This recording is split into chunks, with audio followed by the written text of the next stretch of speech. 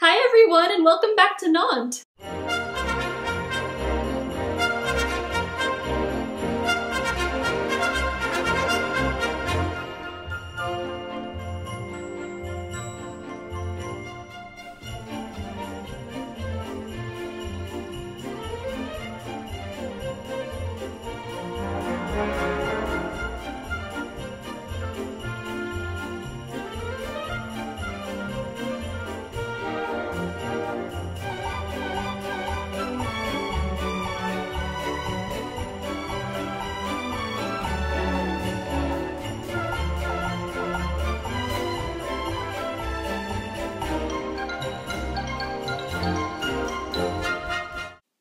Excited because today is the first vlog in which I will be able to show you a little bit of the city. I mean, I know you kind of already saw Nantes in my Thanksgiving video, you saw one of the supermarkets, you saw some of the streets from the car, but this is the first time I'll actually be able to show you the Nantes that people come here to see. I'm going to show you some of the downtown area, you'll get to see one of the parks, I'm going to talk to you all about the footage you just saw in a minute, but first, I thought I would update you on where France is with the coronavirus. So as you may or may not know, France has been under a tight lockdown for a couple of weeks now, but at the beginning of the month, President Macron announced that some of these restrictions would either be lifted or lightened. And one of the things that we can now do is we can now go shopping for whatever we want. No longer do we need to go out for just essential items. We can go out and buy whatever we would like. And I confess that I was a tad happy to hear this because up until that point I hadn't done any Christmas shopping for my family yet. I had been hoping to get them something that was, you know, special to Nantes. As soon as we were allowed to go out shopping again, I went downtown. I went to this store called La Friande, which is basically, it's like a boutique for all of the Nantes specialties. So for example, you can buy cookies, you can buy candy, spreads, crackers, pretzels. And then afterwards, I walked to the Passage Pommeraye, which is kind of like a shopping mall, except it's small and it's a lot more open. It was in between these two locations that I filmed most of what you just saw. So I passed the cathedral, I passed the Tour de Bretagne, you also saw the Passage itself, so that was really nice. It was nice to be able to, you know, get something for my family that's special to Nantes and also just to get out of the house a little bit. But Christmas gifts were not the only thing that I took care of this month. Mathieu and I also got our Christmas tree, as you can see behind me. I'm going to show you all a clip of us putting it up, but I'll tell you, this is not our first Christmas together, but it is our first Christmas living together. And so of course we wanted it to be special. We wanted to have a tree with some decorations. So we went to a store that's not too far away from our house, and it was a pretty big store. It's not quite the size of Target, but it's definitely getting up there. And literally half the store was dedicated to Christmas. Christmas decorations, Christmas trees, Christmas gift wrap, anything Christmas you could probably find in this store. And it was funny because each aisle kind of had a different theme. So there was an aisle with a snow theme, an aisle with a Disney theme. There was even an aisle with a plant theme, if you can believe that. And so we picked out our tree and then we just went through the different aisles and we picked out ornaments that we liked. And then later that afternoon we set it up. Otherwise, in addition to being able to shop more freely, we can also spend more time outdoors. So before, we were only allowed to be outside for one hour hour per day, and we had to be within one kilometer of our house. Now, however, we can be outside for three hours per day, and we can go as far as 20 kilometers from our house. And so on one of my days off, I decided to take advantage of this. I went down to the Jardin des Plantes, which is probably Nantes' most famous park, and I did a little walking around, and then I also walked again downtown to the center area. So I'm going to show you a few clips of that, and stay tuned for the end for a little special surprise.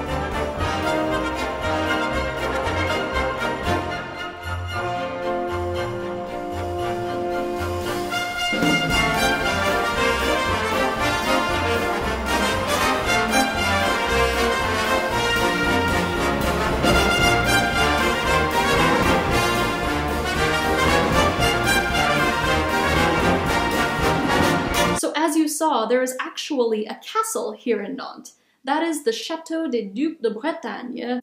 And I confess that I don't know that much about it because we haven't had a chance to visit it, but as soon as things are a little bit better with the world, we will visit it and then I will be able to, you know, share with you all the castle's history. But while I was down there, I saw a little table with a bunch of pamphlets like this one on it. There was a sign that said Servez-vous, so help yourself, and so I picked this one. You can see that there's a little LU biscuit on it, which is another Nantes specialty. And I don't know if this map is more useful or more cute, but either way, I really like it. It's entirely in English, and if you open it, you'll find, um, well, first of all, you'll, you'll find a map of the city, that's helpful. not only that, they've marked on the map all of the city's hotspots. So I don't know how well you can see, but there are little symbols. There are shopping symbols, uh, boulangerie symbols, but then also there's a description for each symbol. Like there's a paragraph of information for each hotspot that they've marked. And this is, I think this is going to be really useful when the pandemic is over because this will give Mathieu and me an idea of, you know, what there is in Nantes worth seeing. Or at least it's a good start, right?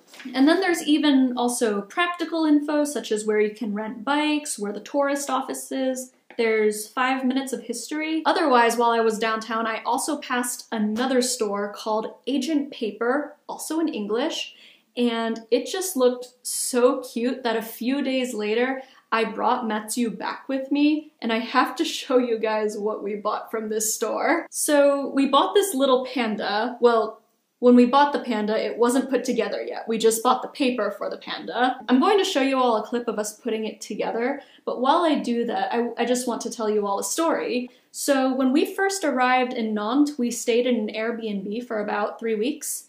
And in this Airbnb, there was a gigantic paper panda. Like, it looked exactly like the one I'm holding, except it was the same size as me. And we thought this was the coolest thing. We had no idea where this paper panda came from. We just thought it was cute. And so when we went to Paper Agent over the weekend and we saw a baby one, well, of course we had to get one for our own apartment. So the instructions classified the panda's construction as easy, and I wouldn't say it was easy, it wasn't hard either. The thing was, it just took a little bit of time. I think we spent probably about two and a half hours just constructing this panda, but it was totally worth it because we really enjoyed doing it and it is so cute and it makes an excellent addition to our living room. And we also got a sloth because both of us really like sloths. This one is classified as medium, so I have no idea how long this is going to take us. And when we're done, we'll be able to hang it on the wall, which is cool. I don't know if I'll film us making this because if it is indeed harder than the Panda, then I don't know. The instructions were both in French and in English, and all I have to say is thank God I speak French because whoever did the English translation needs to go back to school because they obviously used Google Translate to do it. It was a horrific translation. Like, I read it and not even I understood what was happening, so praise be that I speak French because otherwise putting together the panda would have been next to impossible. They also gave us this paper bag, which, I don't know, I saw it and I immediately saw a project, so I've started coloring it.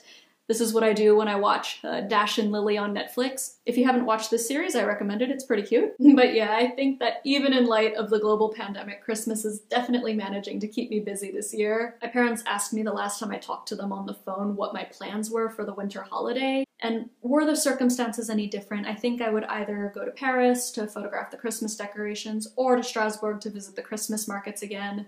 Obviously, neither of those trips are happening this year, but that's okay. The cities aren't going anywhere and it's definitely best to play it safe. I will say though that if you love Christmas, France is a great place to be because the country gets so festive in December. Like, you will find Christmas decorations lining every street. There are so many tasty foods to try. Like I said, if the circumstances were any different, there would be Christmas markets all throughout the country. The one thing I haven't noticed, though, are Christmas carols. I have not heard too many Christmas tunes while I've been out shopping. But France really is a winter wonderland, and I feel incredibly thankful to be here to see it this year, even in light of everything happening. But however you guys are celebrating the holidays this year, I hope that you all stay safe. I hope that you all have a wonderful time, whether you're celebrating alone or with loved ones. I wish you all a most joyous holiday season. If you liked this video and would like to see more like it, please do let me know in the comments below.